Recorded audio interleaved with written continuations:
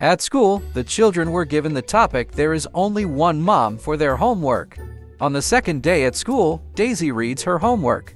My mom is good, she takes care of us, looks after us. There is only one such mother.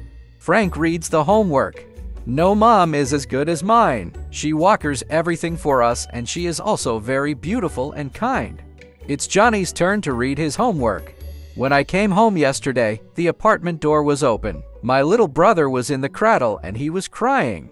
Mom was in bed with the neighbor. When she saw me, she asked me to bring her two beers from the fridge. I went to the fridge and saw that there was only one beer. I shouted to her, There is only one, Mom.